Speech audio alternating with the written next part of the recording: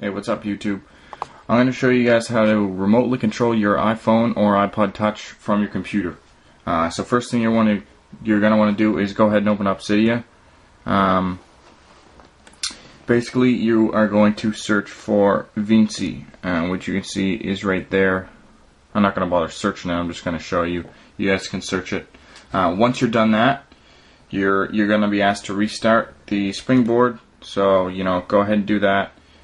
If you don't have an icon on your desktop there, don't worry about it because that's good. You shouldn't have one.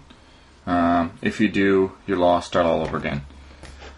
Um, so, after that, you're going to want to go on your computer. So, just give me a sec here. Where I'm controlling my iPod from. Uh, you can click, you can basically click on whatever um, so I'll show you. I can click on whatever here and it comes up on my phone which is pretty cool. It's a little bit laggier on you know the computer but you can still you can still do whatever.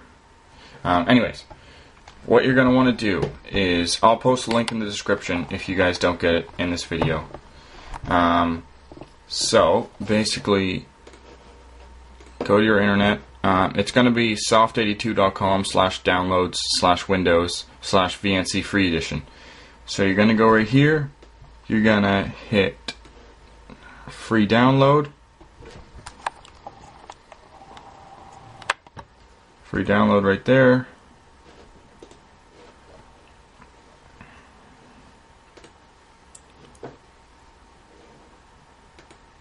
Okay, I already have it downloaded, so you're going to click on Mirror 1.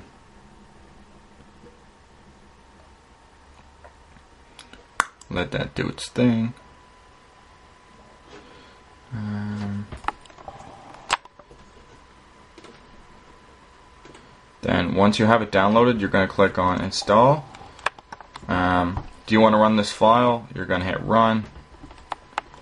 Then it's going to prompt you. You're going to hit next. You're going to hit accept, next. Uh, you can browse for wherever you want it, the directory to be installed. Usually it's just under program files. It'll create its own thing. Hit next, next. Now you're going to check. This box won't be checked when you go to download, so just click that so you don't have to go to search your whole computer for it.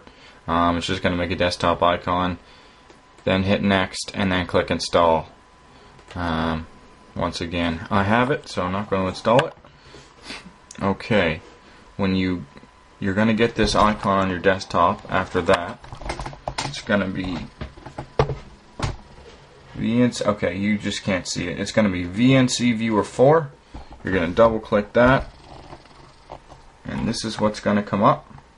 So VNC Viewer. Uh, it's gonna say Server. To find that, what you're want what you're gonna want to do is you're gonna go back into your um, phone or iPod Touch or whatever. Um, you're going to go into settings.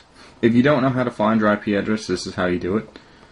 Um, on your iPhones, probably the easiest way. You're going to hit Wi-Fi.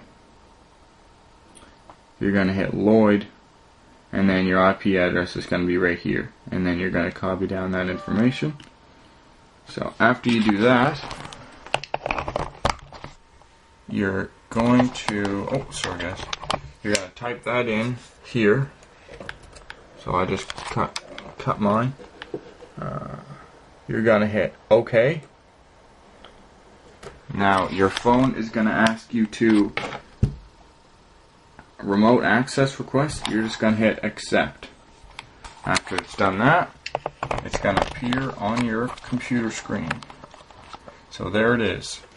Um, I'll put them side by side again for you guys so you can kind of get a taste of what's coming. See, so I mean I can still move this and it'll follow on my computer. Um, or and then of course all the icons are going to be there too. You can use categories if you want to put them in folders and have it a little bit neater. I'm just going to go into notes and I'll just, you know, show you guys that. So, um, no notes. So I'm gonna hit new. Obviously, it's gonna be faster on the on the phone. Um, you're gonna click there. As you can see, you know, I'm typing on the keyboard, and on the phone you can see it. So you can basically do anything. You can write text, write notes, do whatever. Um, lock your phone, you know, go back to the home screen. Sometimes my computer's doing a lot of stuff, so it's a little bit laggier. Um, but I mean, that's the gist of it. So if you guys haven't run into any problems, you know, just let me know. Um, be make sure make sure to rate, comment, uh, and subscribe if you like the video. Thanks, guys.